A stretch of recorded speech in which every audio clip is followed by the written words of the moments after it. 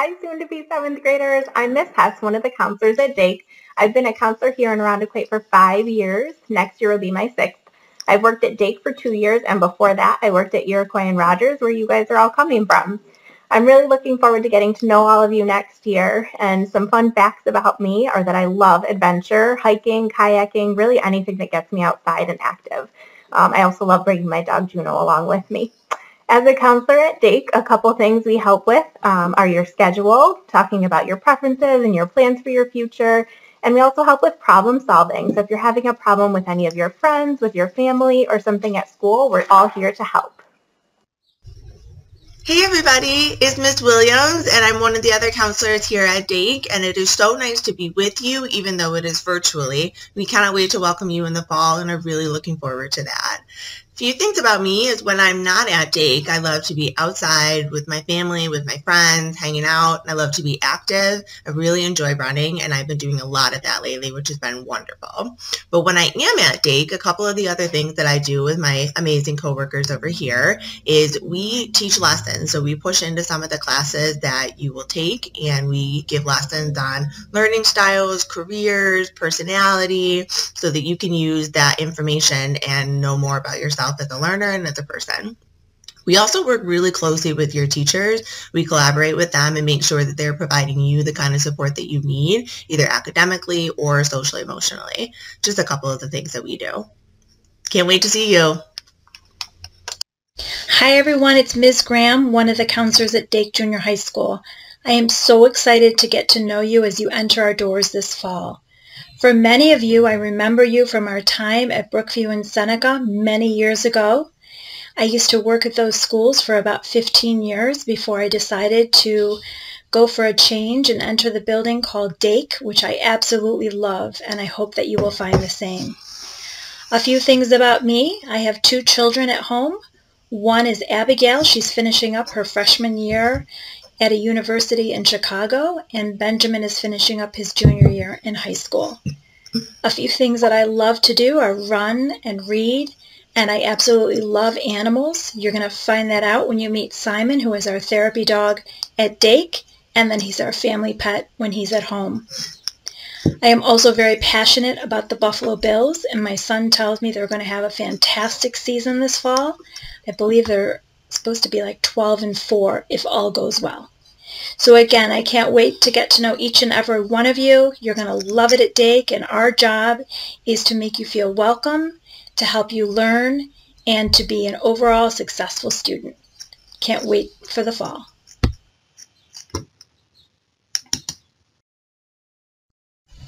Hi everyone, I'm back, and I want you to meet Simon, who is Dake's therapy dog. Simon is home with me right now, but when he's working, he is Dake's therapy dog. His main job is to provide unconditional love and acceptance to all students at Dake. He will be welcoming you as new seventh graders in the fall. He will often be seen greeting students as they enter the building. He spends time with students in the all-purpose room after lunch and also spends time with students in the counseling center. He looks forward to meeting all of you in the fall. Simon, can you say goodbye? Bye. See you soon. So you're all probably wondering what you need to know so that you can do well at Dake next year.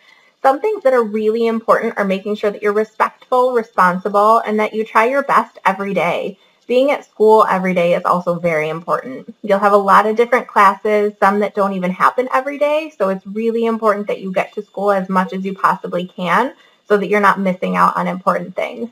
Staying organized is also really important, using your planner and your locker um, at Dake because you're going to be switching classes more often, and so you'll have um, more classes in your schedule to keep track of. So making sure that you're organized is going to be really helpful for you hopefully as a sixth grader you've had lots of time to practice those things and that you're getting used to doing them so that you can be successful next year.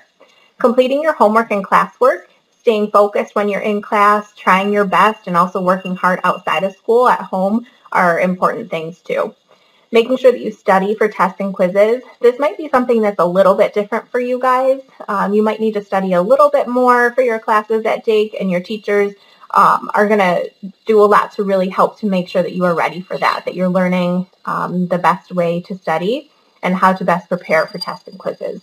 One of the most important things listed here is really making sure that you ask for help. So here at Dake, we have a lot of teachers and adults around the building that are willing to help you with whatever you might need. But we won't always know if you need help unless you ask. So make sure that you take time to seek somebody out and ask for help your teachers are really flexible with meeting with you before after school or maybe during a lunch or a study hall. There's lots of different ways for us to help. You just have to let us know. So those are some of the most important things that are going to help you to be successful at Dake everyone, it's Ms. Williams again, here to talk to you a little bit about expectations for success at Dake. We want to set you up for success at Dake to make sure that you know exactly what it is that you need in order to be successful. The first thing is respect and responsibility, not just for yourself, but for others, our whole school as a whole, and the learning environment. And when we say the learning environment, we mean the classroom. We also mean the hallways, the cafeterias. When you step into Dake, that is our shared community, and we expect that everybody is treating it as such. We also want you to be set up for success by wearing clothes that are representative of you. We know the clothes are unique and it's your personal sense of style. And we want you to have fun with that. But we also want to make sure that you're being respectful about what you're putting out there. So we do not want you to wear clothes that advertise any drugs or alcohol or inappropriate or offensive to other people. Also, coats, big puffy winter coats. Luckily, we don't have to think about those right now, but those should not be worn in the hallways or brought into classrooms. Everyone, it's Miss Graham again. I'm here to tell you about some exciting privileges you're going to have when you enter Dake. First of all, with teacher permission, you now get to wear hats and caps in the classroom. How exciting is that? Can you tell who my favorite football team is? The other thing is, again, with teacher permission, is you have the privilege to chew gum in school, in the classroom, as long as you do it in a respectful way. A couple things that may be different uh, regarding backpacks, when you bring your backpack into school, we are asking that you put your backpack in the locker for the day. You can walk around with a drawstring bag and put a few things in your bag to take from class to class when you don't have time to go back to your locker. But other than that, we're asking that you keep your backpacks in your locker. And also your cell phone, you know, these things that you might be familiar with. We're asking that you keep those in your locker so that you can concentrate on your learning throughout the day. You can bring them into school, have them before school begins, and then take them out at the end of the day. So again, looking forward to the hats and the gum. Hey everyone, it's Miss Williams again. I am actually really excited to talk to you about this slide, the community values. So what you see on your screen are four different community values, and you also see the definition of what these community values mean. These definitions were put in place not just by adults, but they were put in place by having input from students too. What these values mean is they are the expectations for all people at Dake. Students, staff, administrators, counselors, parents, no matter who you are when you are at Dake, these are the values that we expect everybody embodies, but these are also the values that you should expect in return. They're what we hold each other accountable so that we are one Dake community. So what that truly means, though, is that we have shared purpose. We are all here to learn. We have mutual respect. We care about each other as human beings when we're at Dake. We have mutual support. We help each other in the simplest sense. And we have shared pride. We celebrate our Dake community. So again, you will see these posted around Dake, but you also hear your teachers and other adults at Dake reminding you about what it means to live these values out we expect that everybody responds to these and upholds them and carries them out. So we look forward to seeing you at Dake, and we also look forward to seeing where you go with these values because we know that you have them within you. So the school hours at Dake are a little bit different than what you might be used to. Our school opens at 7 a.m. and the first bell to go to homeroom rings at 7.45 and homeroom starts at 7.53. So you need to be in your seat in your homeroom at that time at 7.53.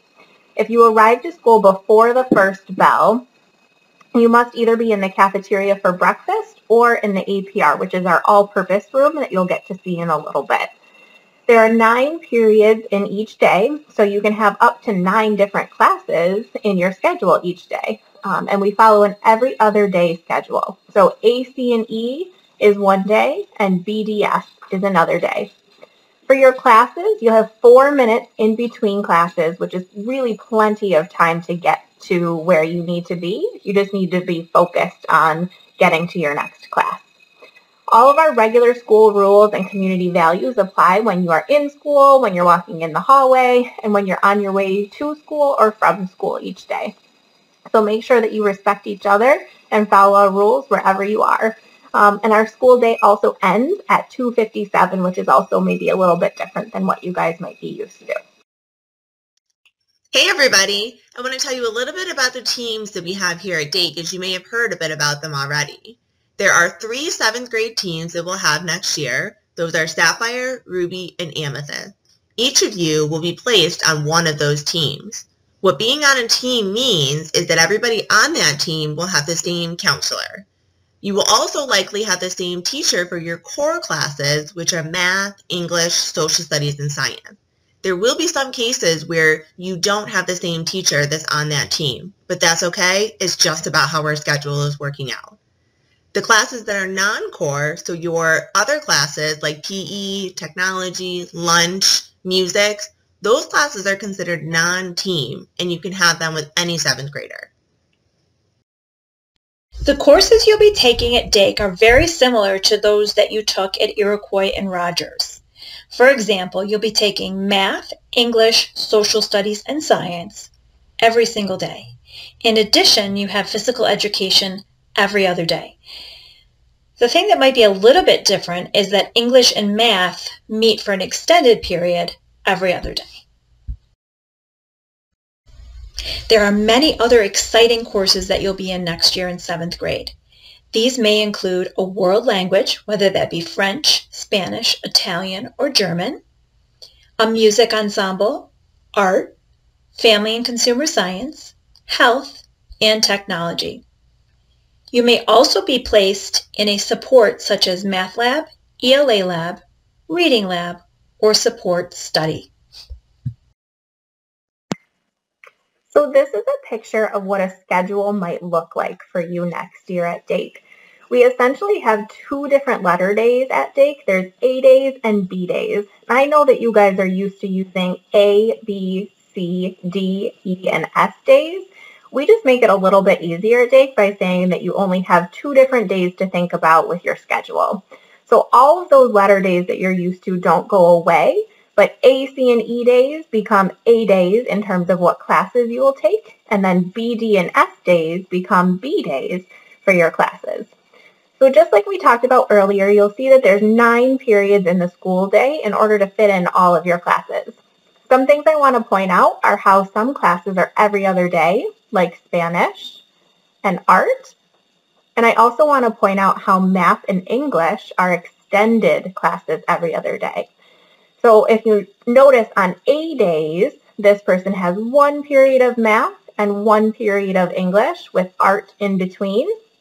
And then on B days, this person has extended where they're in math for one and a half periods and then they go to English for one and a half periods. And the reason that we do this is because English and math are really important classes that help you to learn a lot of the skills that you need in many other subjects. So you get your actual schedules in August, and then you'll get them again on the first day of school. And we go over this important information again during orientation and in homeroom on the first day. So you'll make sure to know um, where your classes are and what your schedule means so you'll know how to read it.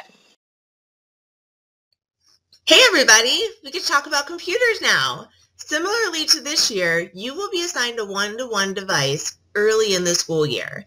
Beginning on July 1st, you will need to sign the user agreement, which can be found online. Your parent or guardian can help you with this too. The exciting new thing, though, for this year is that now that you are going to be a mature daker, you will be able to take your device home, but with parent permission. The other things you need to keep in mind about the device is the expectations in terms of taking care of it stay the same. You are to bring it to school each day, charge it each night, Report any problems or damage or other issues to teachers or the library staff immediately, and we'll show you how to get there, don't worry. The other thing is to follow the laptop user agreement and the student code of conduct while you're using your device. We take that very seriously at Dake, but we know that you'll be able to do it. We have a ton of extracurricular activities and experiences that we offer at Dake. On the left-hand side of the screen, you're going to see a list of what some of these activities are. Please know that we'll make sure that we announce these opportunities again in the fall, and we'll also give you directions on how to specifically become involved in them if you're interested. This is just a preliminary list so you can see all of the awesome things that we have to offer. We also have a ton of sports at Dake. I do want you guys to pay attention to the ones that are listed in the fall category because if you're interested in participating in those, you're going to want to make sure that you're paying attention over the summer to any announcements that come out about how to register or how to make sure that you are physically cleared and eligible to participate. The way you pay attention to those is by keeping an eye on the athletic website as well as any posts that are put on our Facebook, Dake Facebook page. Hey guys, so it's time for a little bit of real talk right now. We are so looking forward to welcoming you to Dake and we cannot wait to see you in the fall, but we know that things have been really different lately. But we want you to know that we got you. And if there are things that are going to change in the fall, if rules and expectations are going to change or there's things that will be different, we will make sure that you and your families know. Our priority is making sure that you are comfortable, you are welcome, and you know that you are cared about. So in what whatever way, we cannot wait to see you in the fall.